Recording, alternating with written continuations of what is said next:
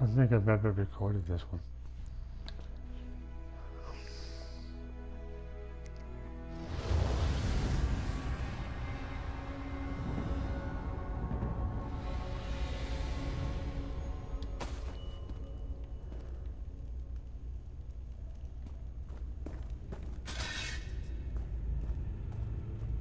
I remember these halls.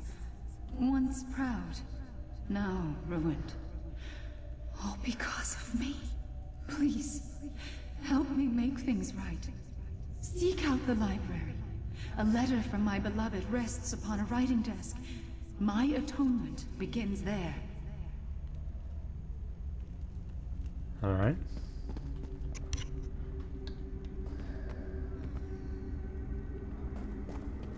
Alrighty then.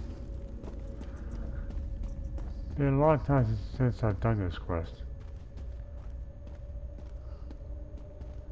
But this is the library, I remember that.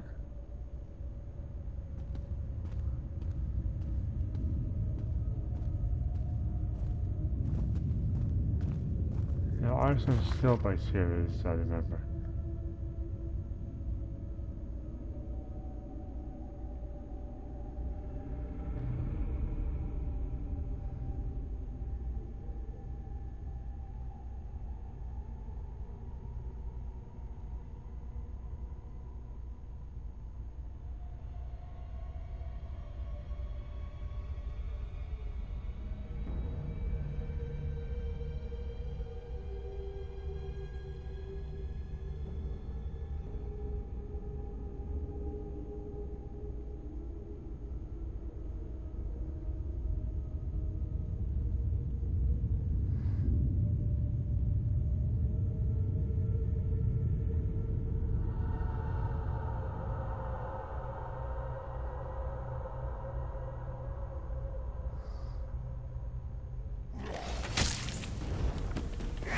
Bitch!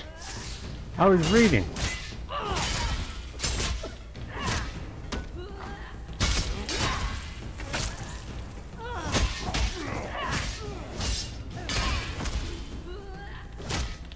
I was reading a book.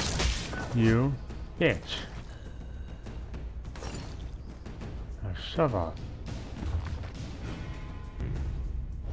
Oh, for the love of ale, come away. God, can a cat just get a reading?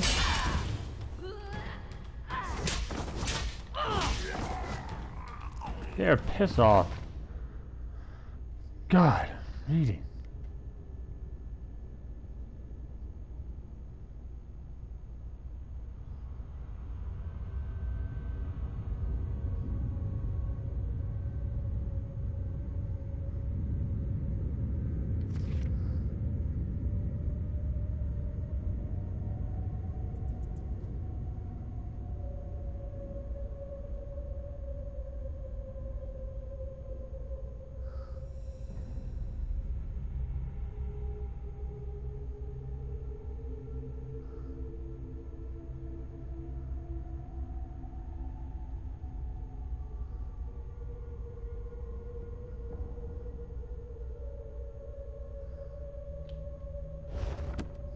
Okay.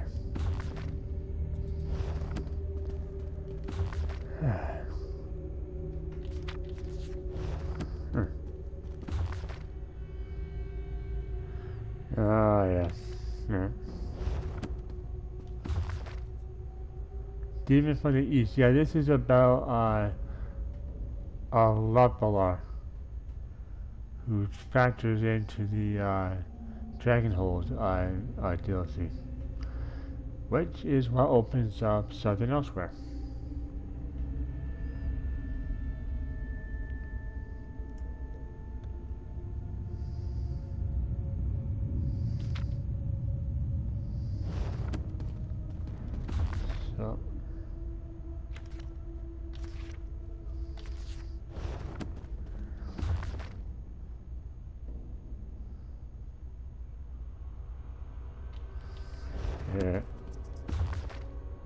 Hurricanes.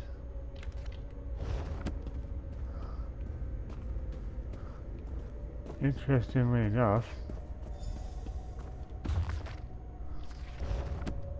the Khajiit do worship Hircine. Under a different name granted, but still.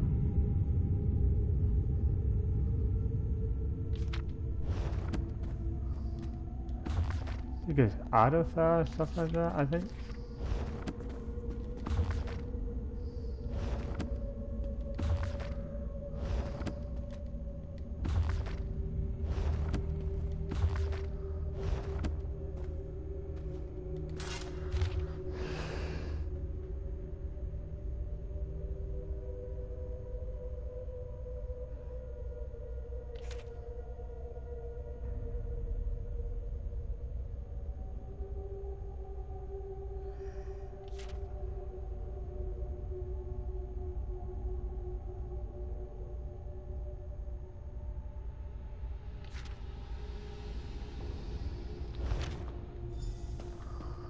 Who are you? What are you doing here? Have you come to plunder what remains of our academy? It matters little. Whatever indignities you plan to visit upon these halls will pale against the curse I put on them. I am Jano Invel, Imperial Battle Mage and Spellcraft Instructor. And yes, I wrote that letter. What is this about? After 20 years of imprisonment, I won't suffer idle conversation. Speak plainly or leave. yeah, whatever. Uh, Katina Garada sent me her mother, her, Honoria, gave her this necklace. Do you recognize it? Garana? By the Eight. Yes. I recognize both the name and the locket. That piece of jewelry was to serve as the focus for a soul warding spell. We meant to use it to keep us safe from the flu. But then Honoria left, taking the necklace with her.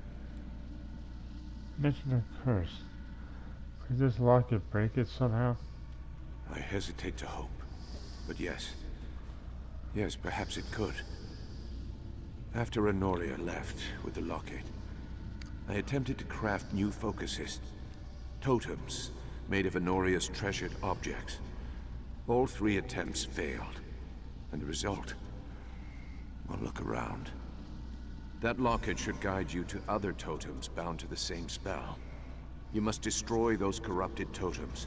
They bind our souls to the failed warding ritual. Once they're destroyed, return to me with the locket. Then I can mend what's broken. Me about this warding spell. You will think less of me for having used it. The ritual binds souls, much like a soul gem. Unlike a soul gem, it also binds flesh. So long as the focus of the ritual remains intact, the bodies and souls of those touched by the spell remain as well.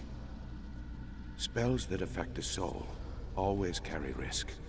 My love, my partner, Honoria, seemed certain that the locket would serve as a potent focus. I gave it to her, you see. It belonged to my mother, and her mother, and so on. It carries emotional potency.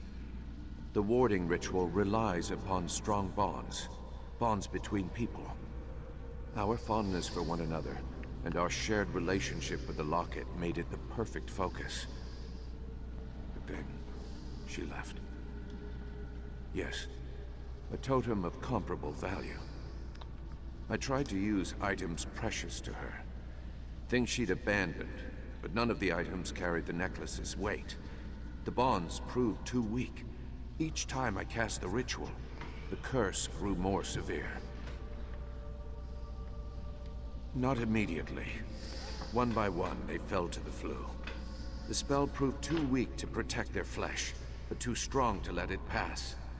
Now their souls and corpses remain, tortured. She had doubts, certainly. We all did. But at a certain point, it seems she lost faith in the ritual completely. I was furious, at first. I even called for her to be arrested on charges of desertion. Or would have, had I sent that letter. No great surprise there. That was the longest, most agonizing night of my life. I never sent the letter, though. I didn't have the heart to.